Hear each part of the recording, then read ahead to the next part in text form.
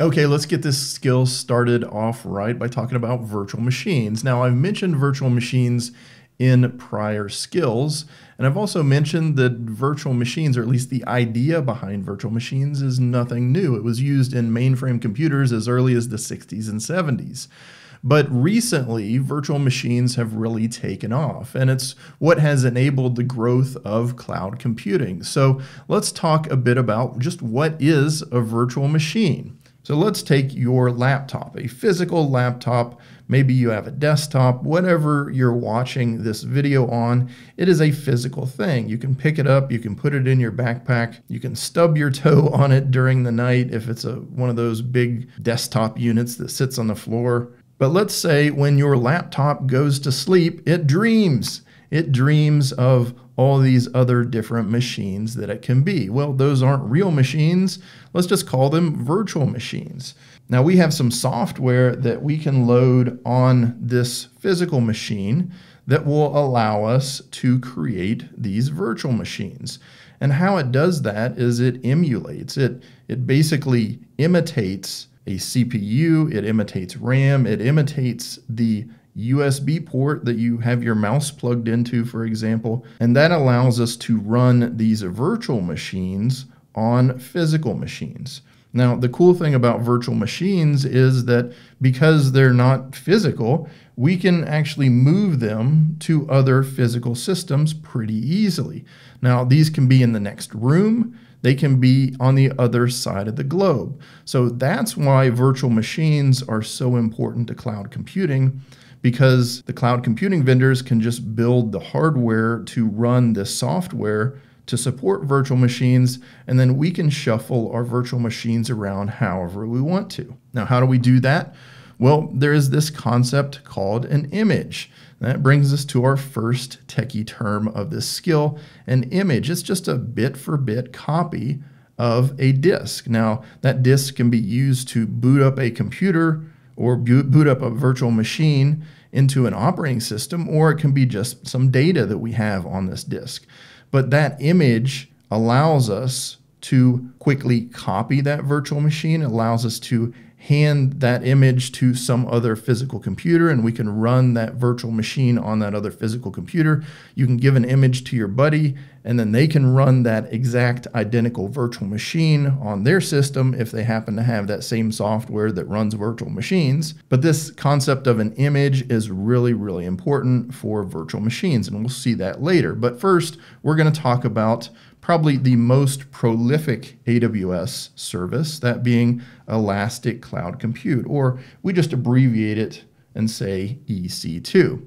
Now, EC2 is the service that AWS has created to do nothing but run virtual machines, and it does that very, very well. Now, typically, when you set up a virtual machine, you have to specify how much RAM and how much CPU and that sort of thing you're going to allocate to that virtual machine well, AWS has over 700 different variations of VM types that we can use. So, regardless of what your workload is, you're probably going to find a VM type that has what you need in the way of memory, CPU, storage, maybe graphical processing unit power. There's just a variety of different attributes that these different variations of VMs have.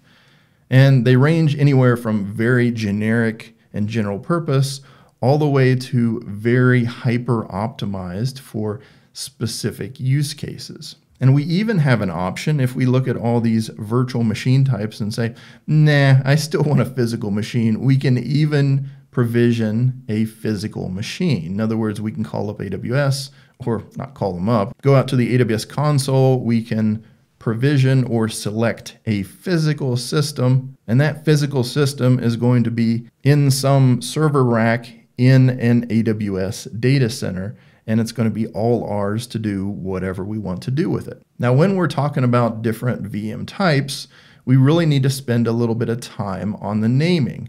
So this is the name of one such VM type, one of those 700 different types. And let's deconstruct what we're seeing here. So first, this M, to me, I immediately recognize that because I know the instance type naming structure, and M means general purpose. I know it's not very intuitive in this case, but just bear with me here. The, the first letter generally represents what sort of specialization this instance type has. And we'll see some examples of some other letters that will lead off these instance types. But in this case, M represents general purpose. Now we have the 7 here. Now that 7 represents the seventh generation of this particular instance types. Occasionally, AWS will come out with a new generation of instances that typically have more memory, better performance, maybe they cost less. But there will be cases where maybe they have an M5 instance type, an M6, and an M7. Now, if you're just going out there for the first time, you're probably going to choose the latest and greatest version, but there are other customers who have selected these when they were the latest and greatest and they've just stuck on them over the years, which is perfectly fine. Now, this I here tells me that this is an Intel based instance type, meaning Intel CPU. Now, if it, if it was an A, that would tell me it was an AMD processor. And if it was a G, that tells me that it is a Graviton processor. Now, what is a Graviton processor? Well, AWS has invested in building their own CPUs, their own computer processors. And one of their CPUs they call a Graviton. Now, it is an ARM based processor. What's that mean? Now, these two right here, Intel and AMD, are typically what you would run in most home computers, and they're very popular in data centers as well. They use something called an x86 instruction set. Now, a different instruction set is called an ARM instruction set, and as a matter of fact, it's ARM64. And the takeaway here is that this software is not compatible with this software you have to have special versions of software that is ARM64 compatible such that you can run on a Graviton processor. Now, why in the world would you want to run on a Graviton processor? Well, cost. Because AWS invented this Graviton processor themselves, they're not having to pay royalties or licensing fees or purchases to Intel and AMD for running their processors. So they can offer these Graviton based instances for a lower cost. Okay, so continuing on, we have this large part here. You'll see different sizes. You'll see nano, micro, small, medium, large, X large, 2X large, and that just represents how much CPU and how much memory that particular instance has been equipped with. So let's look at some other naming here. We have M, that's the general purpose. If something started with a T, that would tell me it is a burstable instance, and we'll talk about what burstable is in a minute. If it starts with a C, it is a compute optimized instance. That just means it probably has more CPU and less RAM. Now, a memory optimized instance, the one that starts with R here, is exactly the reverse. It has more RAM and less CPU. We have instance types that start with a G or a P, and those are GPU optimized, and they're usually used for video editing or stuff like that. Now, maybe our application requires a lot of disk I/O, a lot of disk input output, and we might opt for a storage optimized instance type in that particular case. But wait, there's more instance types. We have the Mac instance type, which is a physical machine. It is not a VM. So if we go out there and select a Mac instance type, it's going to be a real Macintosh computer sitting in an AWS data center on some rack somewhere. We have high performance computing instance types. We have X, which is a really large memory footprint. Footprint. We're talking about like two terabytes of RAM and you would use these for in-memory databases like SAP HANA.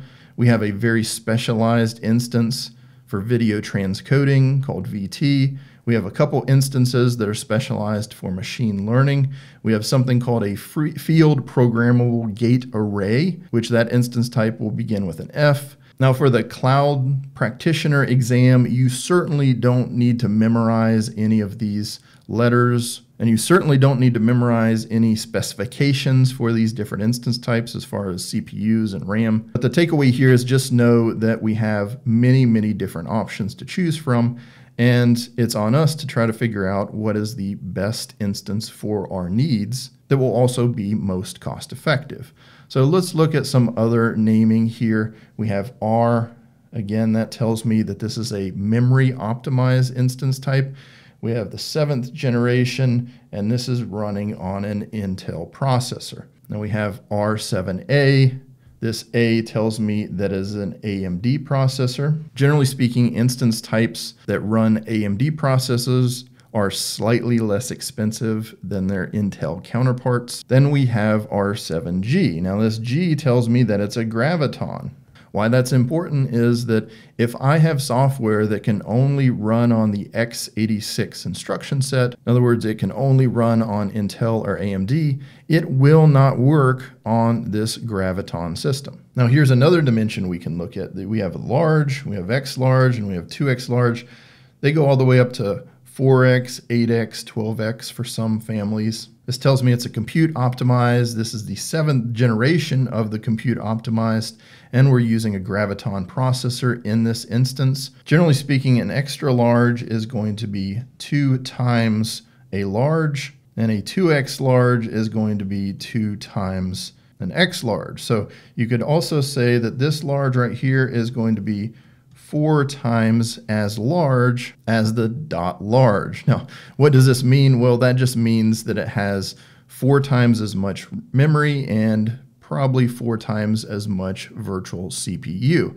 Now it varies slightly because some instance types are memory optimized, some are compute optimized. Again, you don't have to worry too much about memorizing all this stuff. I just wanted to explain this naming construct so that when you see it in the wild, then you will kind of understand what it's saying there. So let's look at burstable instances. Now for burstable instances, we have the T2 family, we have a T3, we have a T3A, and a T4G. So again, this is the AMD, this is the Graviton, and these are both Intel processors.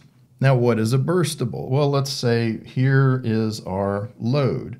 So we're going around here, and then we have a spike, and then we're low for a bit, and then another spike.